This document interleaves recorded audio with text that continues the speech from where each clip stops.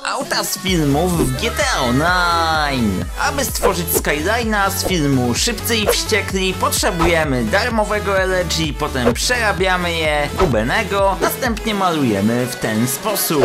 Obserwuj po więcej.